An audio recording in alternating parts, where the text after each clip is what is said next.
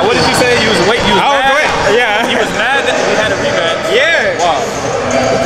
Nigga, they already lost, so I'm like, fuck it, man. And then you wanted to do what? I wanted to test my defense out on you. On me? On you. Say less. Yes, sir.